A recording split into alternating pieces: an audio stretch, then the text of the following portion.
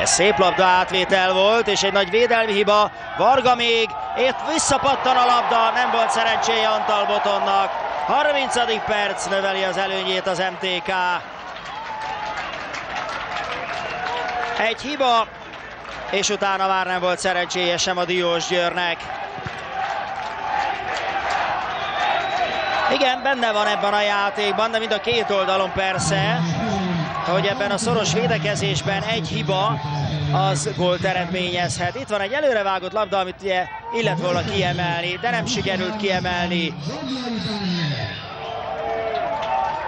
És Vadnai volt az, aki előre tört és fejezte be a támadást, nem Varga. Ott van, visszapattan rá a labda, Antal jól zárta a szöget, de nem volt szerencséje, mert a védését követően pont úgy pattant vissza Vadnaira a labda, hogy onnan már nem volt nehéz dolga. Vadnai tehát a gólszerző.